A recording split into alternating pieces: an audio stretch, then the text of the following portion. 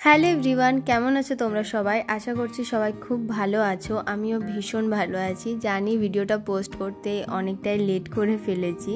তো এটা ছিল আমাদের শিলংয়ের সেকেন্ড ডে আমরা প্রথমেই চলে গেছিলাম ওয়ার্ডস লেকে ভেবেছিলাম নিজেদের কার নিয়ে বেরোবো বাট ফার্স্ট দিনেই দেখলাম এখানে বেশ ভালোই পার্কিংয়ের সমস্যা আছে। আর নতুন জায়গা, পাহাড়ি জায়গা, সেরকম কোনো আইডিয়া নেই রাস্তাঘাটে।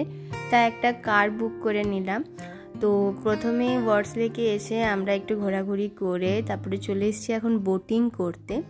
প্রতিবার কোথাও ঘুরতে গেলে ঘুরতেই এত ব্যস্ত হয়ে যায় যে কোনো অ্যাক্টিভিটিস করেই হয়ে ওঠে না। তো এখানে যদিও আমরা নিজেরা বোটিং করব না বোটম্যান নিয়েছিলাম। উনিই বোটিং করবেন, আমরা জাস্ট বসে বসে প্রাকৃতিক দৃশ্য দেখব।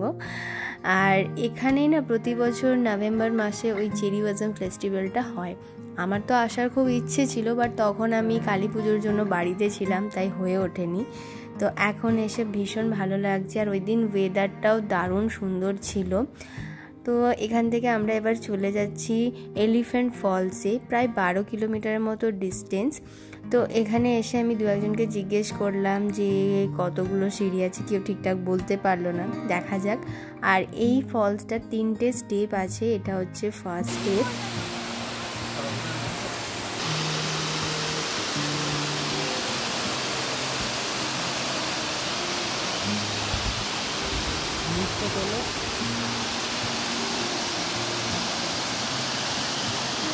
সিঁড়িগুলো বেশ ভালোই খাড়া আছে। আমার আপ ডাউন নিয়ে ছশো, সাতশো মতো সিঁড়ি মনে হয়েছে, যদিও আমি কাউন্ট করিনি, পুরোটাই গেজ করছি। এবারে যাচ্ছি আমরা সেকেন্ড স্টেপটা দেখতে। সেকেন্ড স্টেপে জল তুলনামূলক কম ফার্স্ট অ্যান্ড থার্ডের থেকে। সব থেকে সুন্দর ছিল থার্ড স্টেপটা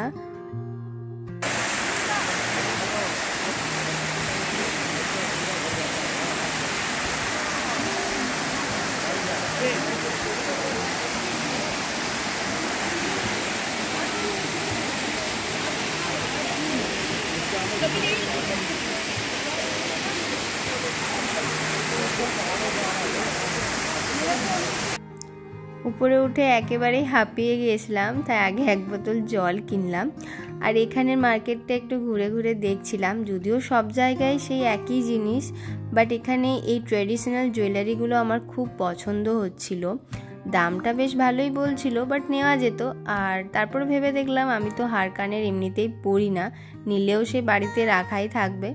তাই আর নিলাম না। এবার এখান থেকে আমরা চলে যাব এয়ারফোর্স মিউজিয়ামে শিলংয়ে অনেক কটাই পার্ক, মিউজিয়াম ভালো ভালো আছে বাট আমরা ওগুলো যাইনি কারণ আমরা যেগুলো ডিসাইড করে এসেছিলাম ওগুলোই আগে ঘুরবো নেক্সট টাইম এলে বাকিগুলো দেখব, কারণ সব দেখতে গেলে তো পসিবল হয়ে উঠবে না ওই টাইমের মধ্যে। তো আমরা এখানে মিউজিয়ামে চলে এসেছি, যা যা এখানে এন্ট্রি করার সব করছিল, সব জায়গাতেই এন্ট্রি ফি আছে, কোনো জায়গায় একশো, কোনো জায়গায় চল্লিশ, পঞ্চাশ ষাট সবখানে আলাদা আলাদা। তো এখানে এয়ারফোর্স রিলেটেড সমস্ত কিছু ইন ডিটেলসে উইথ পিকচার দেওয়া আছে, সেগুলোই সব ঘুরে ঘুরে দেখছিলাম। যদিও আমার সেরকম কিছুই আইডিয়া নেই, তবুও আমার হাজব্যান্ড বলে বলে দিচ্ছিল, টুকটাক দেখিয়ে সেগুলো দেখছিলাম। ওখানে সব ড্রেস দেওয়া আছে। আর সব থেকে যেটা ভালো লাগল, সেটা হচ্ছে যে সেভেন সিস্টার স্টেট আছে, সেই স্টেটের সমস্ত কিছু এখানে ইন ডিটেলসে দেওয়া আছে। তাদের ড্রেস, তাদের কালচার তাদের সমস্ত খাবার দাবার সব কিছু তো এমনিতেই আমি ইন্টারেস্টেড থাকি, মাঝে মধ্যে বাড়িতে গুগল ইউটিউব সার্চ করি বিভিন্ন স্টেট সম্পর্কে টুকটাক জানার জন্য। তো এখানে এসে আমার এটাই সব থেকে বেশি ভালো লাগল। তো এবার চলে যাব আমরা শিলং পিকে। তো এখানে আমরা মানে ওই গাড়িটা করে পুরোটা আসিনি। হাফ রাস্তা এসছি, আবার হাফ রাস্তা অন্য গাড়িতে এলাম। জানি না, কিছু নিয়ম আছে, হয়তো এখানে এই গাড়িটা করে হাফ রাস্তা এলাম আবার। তো এখানে এসে আমি প্রথমে পরে নেব এখানের খাসি অ্যাটায়ার যেটা মেঘালয়া স্টেটের ড্রেস অনেকেই দেখেছি অনেক স্টেটে ঘুরতে গিয়ে অনেক রকম ড্রেস পরে। তাদের যেটা থাকে ট্রেডিশনাল ড্রেস তো আমি সেরকম কোথাও যাইনি ফার্স্ট টাইম এখানে এলাম। তো আমি তো ঠিকই করেছিলাম যে এখানে এসে আমি এদের ট্রেডিশনাল ড্রেসটা পরবই। ভীষণ সুন্দর লাগছিল, নিজেকে দেখতে অন্যরকম লাগছিল। তো এখানে হান্ড্রেড রুপিস নিয়েছিল ড্রেসটা পরতে, তারপর আমি একটা ফটোও তুলেছিলাম, সেই ফটোটা ফিফটি রুপিস নিয়েছিল। আরও অনেক জায়গাতেই ড্রেসটা পরা ছিল বাট ওইখানগুলোতে আমি আগে ঘুরে ফিরে তারপরে দেখতে পেয়েছিলাম পরাচ্ছে। তখন তো দেরি হয়ে গেছিল, অন্য জায়গাগুলোও যেতে হবে, তাই ওখানে পরিনি। তো এখানে এসে ফার্স্টেই পরে নিলাম, এবারে ঘুরবো ফটো ফটো তুলবো রিলস টুকটাক বানাবো। আর ছেলেদেরও এখানে পরা ছিল ড্রেস অনেক ছেলেরাও পরছিল। আমার হাজব্যান্ডকে বললাম, আমার হাজব্যান্ড তো পরলো না। বলল, তুমিই পরো। তো ঠিক আছে, আমিই পরলাম। তো তোমরা সবাই জানিও কেমন লাগছে আমায় ফার্স্ট টাইম নতুন অ্যাটায়ারে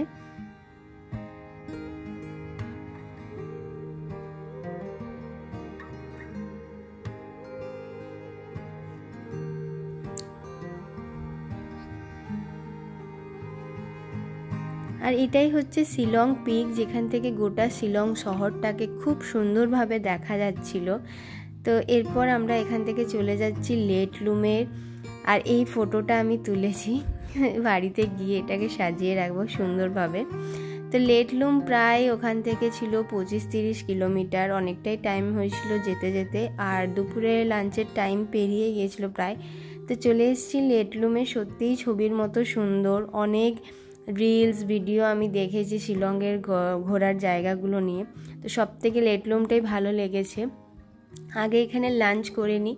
তো এখানে ঢুকে প্রথমে জিজ্ঞেস করলাম যে এখানের ট্র্যাডিশনাল ফুড কি?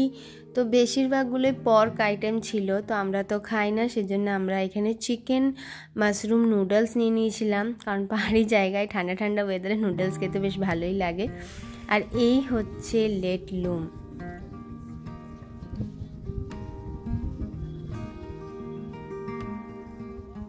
আর সব থেকে যেটা ভালো লাগল, ঘোড়াটাও কি সুন্দর জায়গাটায় এসে ঘাস খাচ্ছে না? ভীষণ সুন্দর লাগছিল। তারপরে একটু চা খেয়ে আমরা শিলংয়ের জন্য বেরিয়ে গেলাম সুন্দর সানসেট দেখতে দেখতে। তো আমরা গেস্ট হাউস অবধি যাইনি, পুলিশ বাজারে নেমে গেছিলাম, রাতে ডিনার করব বলে। তো এখানে একটা রেস্টুরেন্ট খুঁজে আমরা ডিনার করে, তারপরে অন্য একটা গাড়িতে করে আবার গেস্ট হাউস এলাম। তো ভিডিওটা তোমাদের কেমন লাগল জানিও। ভালো লাগলে একটা লাইক করে দিও। তোমাদের সাথে দেখা হচ্ছে নেক্সট ভিডিওতে। নেক্সট দিন আমরা কোথায় কোথায় যাচ্ছি, কী কী করছি সেগুলো নেক্সট ভিডিওতে আসবে। চলো সবাই ভালো থেকে, সুস্থ থেকো। Tata bye